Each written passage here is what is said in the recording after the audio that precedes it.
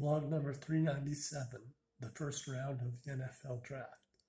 Thursday night was the first round of the NFL draft.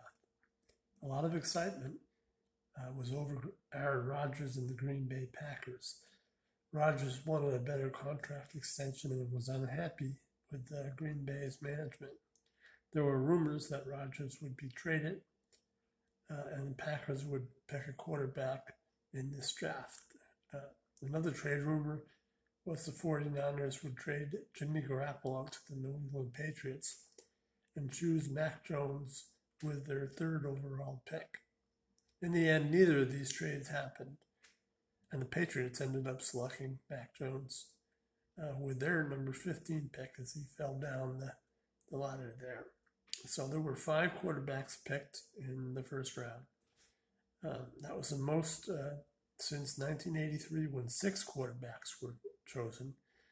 Um, in that particular draft, uh, three Hall of Famers, Dan Marino, John Elway, and Jim Kelly were in that draft. Um, no surprise, but the Jaguars picked uh, Trevor Lawrence first, and the Jets picked uh, Zach Wilson at number two. At number three, everybody thought the 49ers were going to take Mac Jones uh, to replace the traded Garoppolo. And instead, they picked quarterback Trey Lance from North Dakota State. A little bit of a gamble, but uh, quarterback Justin Fields uh, from Ohio State fell all the way to number 11 and was chosen by the Cleveland Browns. Um, and surprisingly, I said earlier, Mac Jones fell to number 15 and was picked by the New England Patriots.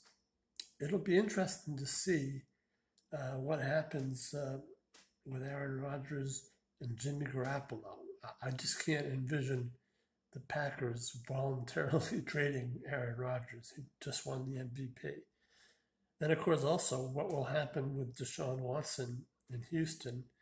Um, he wants out, and then he's got all these uh, uh, abuse, uh, sexual abuse things hanging over his head. So he may not be the get a lot back in the trade. So, so anyway, that's the end of uh, today's blog. Uh, everybody, stay safe.